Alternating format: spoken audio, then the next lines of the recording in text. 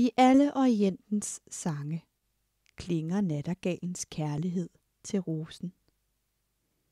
I de tavse stjerneklare nætter bringer den bevingede sanger sin duftende blomst en serenade.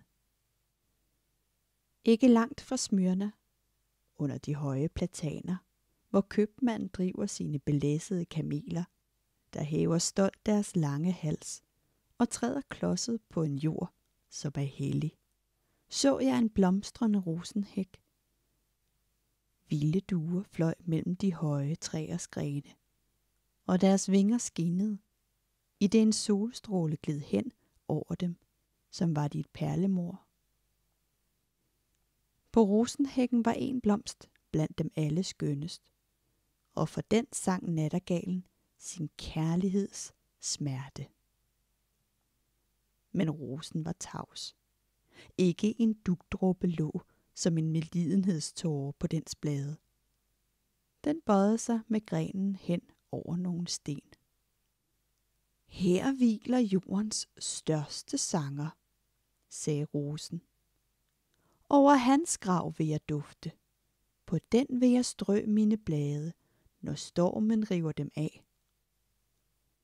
Iliadens sanger blev jord i denne jord, hvorfra jeg spiger.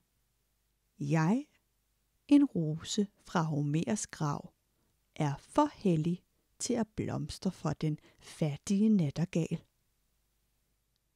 Og nattergalen sang sig til døde.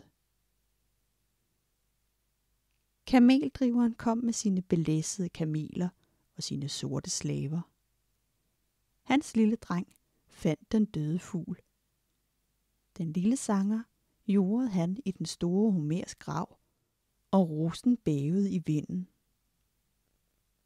Aftenen kom.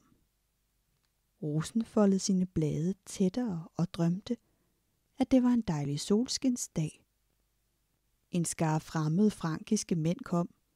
En pilgrimsrejse havde de gjort til Homers grav. Blandt de fremmede var en sanger fra Norden, fra tågernes og nordlysenes hjem. Han brød rosen af, pressede den fast i en bog og førte den således med sig til en anden verdensdel, til sit fjerne fædreland. Og rosen visnede af sorg og lå i den snævre bog, som han åbnede i sit hjem og sagde, her er en rose fra Homers grav. Se, det drømte blomsten, og den vågnede og gøs i vinden.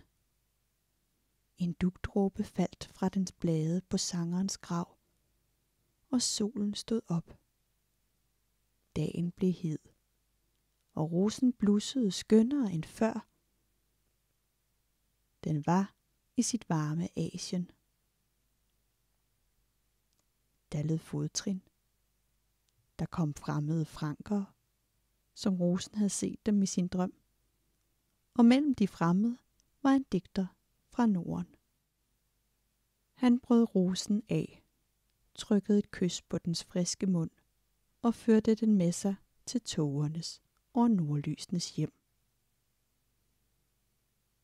Som en mumie hviler nu blomsterliget i hans Iliade. Og som i drømme hører den ham åbne bogen og sige, her er en rose fra Homers grav.